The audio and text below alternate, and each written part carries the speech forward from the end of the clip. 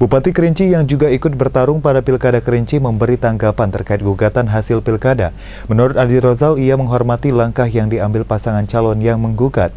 Selain itu, Adi Rozal lebih mengapresiasi Pilkada Kerinci yang berlangsung kondusif.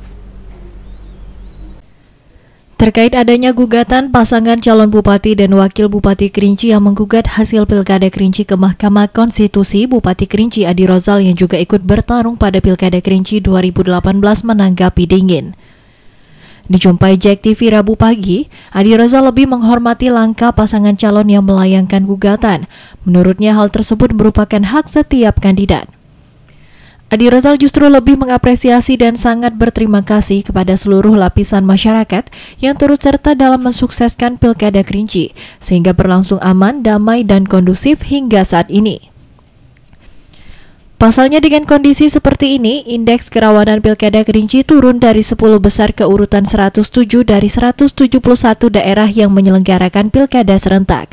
Sebagai proses negara hukum dan demokrasi, saya mengapresiasi dan menghormati apa yang dilakukan oleh paslon lain dalam proses memperjuangkan hak-hak mereka.